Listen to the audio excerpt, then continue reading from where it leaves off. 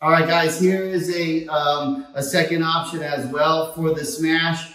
Um, the, the, the same as the, the last technique where it's difficult to get the hook in, but, um, but it's okay because you can use the leg in a different manner as like a drive, driving tool um, to kind of redirect the, the pressure. So uh, let's do this one.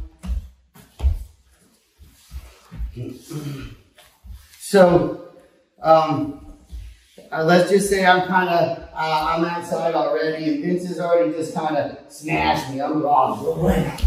Okay? This is pretty much how um, everybody ends up most of the time when they want to try and lock their legs tight, half guard, or go inside and lock down.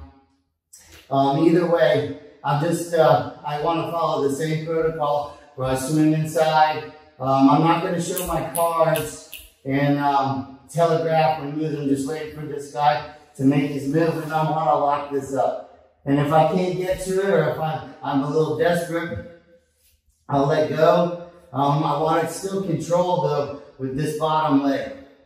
So it's always in this like lock, half guard, and I want every time I let go, you gotta control the guy here or they're gone.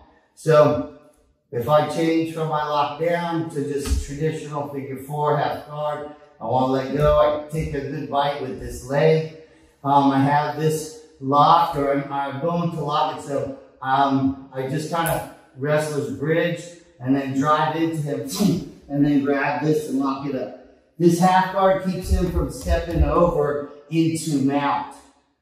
Okay? And then the same situation, I use this as a drive leg. He has no base because he's committed, committed to the lock.